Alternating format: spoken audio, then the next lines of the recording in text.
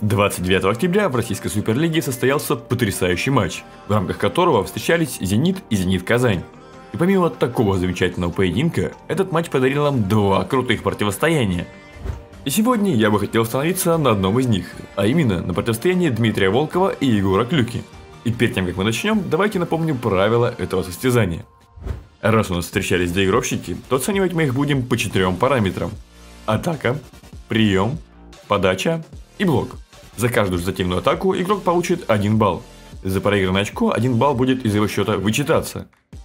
За идеальный прием доигровщик также получает 1 балл. За хорошую доводку 0,5 балла. А за результативную ошибку на приеме 1 балл у него мы заберем. За эйс игрок будет премирован 1,5 балла. Если доигровщик выполнит подачу, которая существенно затурнит комбинационную игру соперника, то за это мы добавим ему полбалла. Но если он на подаче ошибется, то 0,5 балла мы из его результата вычтем. Ну и за каждый результативный блок игроку добавляется 1 балл. Также у нас есть очки клатча, а это те моменты, когда счет обеих команд переваливает за 20, и разница на табло не более 3 очков. А еще за клатч считается весь пятый сет полностью. За каждое удачное действие в клатче игрок получает дополнительные 0,5 балла. За ошибку будет вычитаться на полбалла больше. Ну что ж, надеюсь все понятно. Дмитрий Волков против Егора Клюки. Приятного просмотра.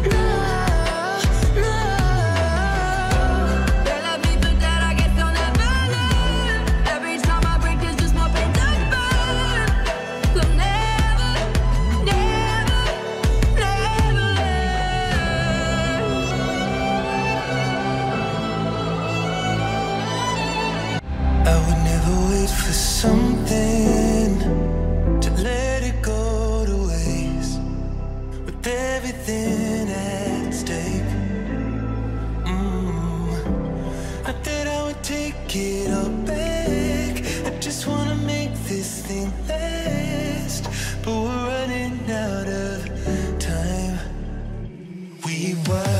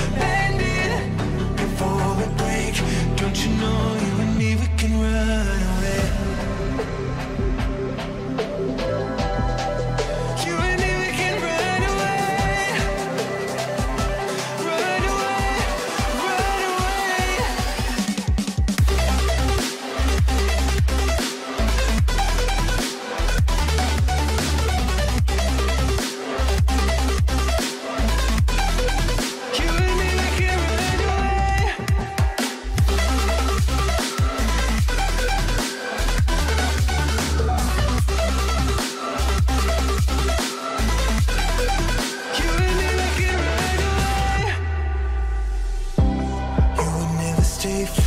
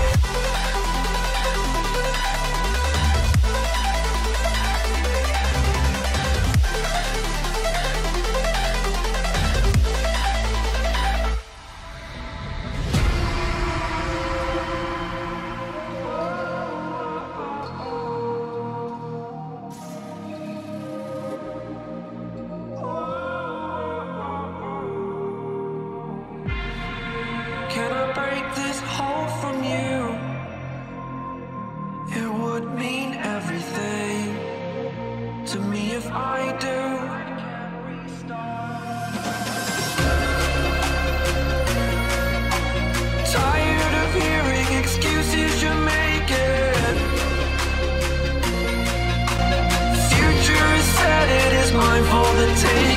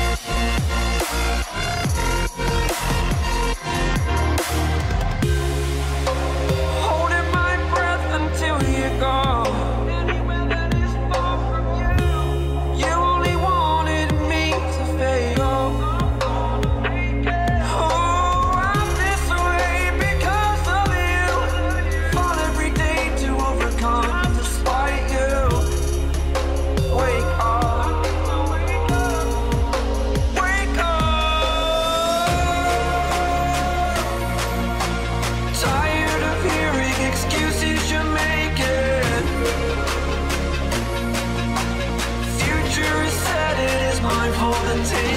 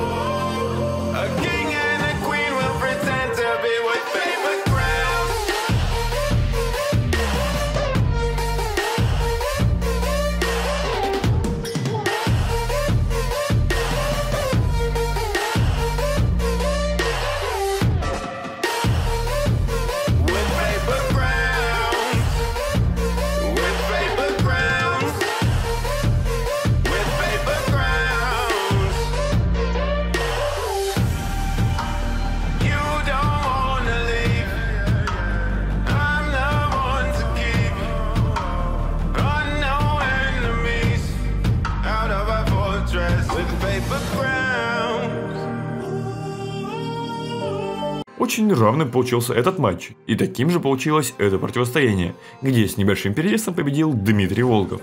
Надеюсь, это видео вам понравилось и вы оцените его лайком. Если хотите увидеть противостояние Максима Михайлова и Виктора Полетаева, то обязательно дайте мне знать про это в комментариях. Если у вас есть другие претенденты на эту рубрику, то также не забудьте про это написать. Ну а с вами как обычно был Николай Иванов. Любите то, что вы делаете, и все у вас обязательно получится. Скоро увидимся. Пока.